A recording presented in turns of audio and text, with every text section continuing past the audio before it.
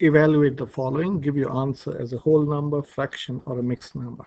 So the first question is 16 over 25 to the power negative 1 half. So here you've got a negative 1 half. I'm thinking, can I write this 16 and 25 as a square? Okay, so I know 16 is 4 squared and 25 is 5 squared. So I'm going to write this as 4 squared over 5 squared to the power negative 1 half. So applying the rule of indices, you've got power of power, you have to multiply the powers. So this is nothing but 4 raised to 2 times negative 1 half. And you do the same thing to the denominator. So that is 5 squared times negative 1 half times negative 1 half. 1 over 2. So this is nothing but 4 raised to 4 times negative 1 half is negative 1 and 5 times 2 to sorry 5 raised to 2 times negative 1 half is also negative 1 so you got negative 1 in the numerator and the denominator or the power of negative 1 so this becomes when you have a negative power it changes the place. So you can understand the negative power as a gear okay so if it changes the power, it has to change the place. So this comes down of 4 to the power negative 1 comes to the denominator and becomes. And this goes up and becomes positive. So this is nothing but 5 over 4.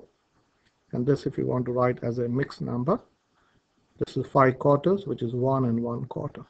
So this is your final answer. Or as a decimal, this is 1.25. So how can we do this on a calculator? This is menu. Uh, oops, uh, calculator. I'll slightly move this. Um, okay, hopefully I can work. So menu, run. Oh, my calculator is not yet working. So I go 16 16 divided by 25 raised to uh, I'll put this in the bracket negative 1 divided by 2 the calculator will give you a decimal number 1.25 if you can change this this is 5 quarters and 5 quarters is 1 and 1 quarter. Okay the next question is 125 over 64 to the power let me use a different color. So this is, can I write 125 as a cube? So I know you should be knowing uh, 125. If you know this fact, this is really helpful. So 125 is 5 to the power 3 or 5 cube. And 64 is 4 cube. Now you may wonder why I'm writing as a cube. I hope you can see you got 4 thirds. Okay, so this 3 will do something to this cube. So I'm going to write the next step like this. So this is 5 cube over 4 cube raised to negative 4 thirds. So power of power you multiply. So this is 5 raised to 3 times negative 4 thirds over 4 raised to 3 times negative 4 thirds. Negative 4 thirds. So this 3 and this 3 gets cancelled and this 3 and this 3 gets cancelled. So what remains is 5 raised to 5 raised to negative 4 over 4 raised to negative 4. So the same thing happens. This comes down and this goes up. So this is 4 to the power of 4 over 5 to the power of 4. So 4 to the power of 4 is 64 times. So this is 4 cube times 4 times 4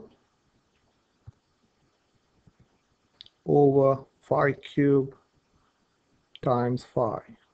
Okay, now this is 64. 4 cube is 64. This is 64 times 4 over 125 times 5. So 64 times 4 is 256. So this is nothing but 256 over this is 625. So this is your uh, final answer. Six. This is a improper. This is a proper fraction. So let us use check this on a calculator. So delete. So I go 125 divided by 64 raised to bracket minus 4 divided by 3 equal and this if you want to change as a fraction 256 over 625 okay let me do one more question 125 raised to this is the easiest of them so 125 we just saw. 125 we can write as a cube which is 5 cube.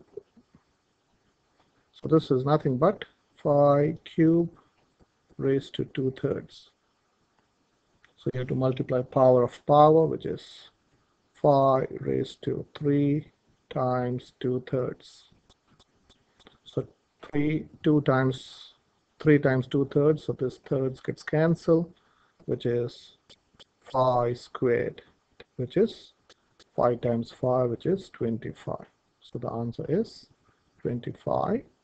So again, always check it on a calculator.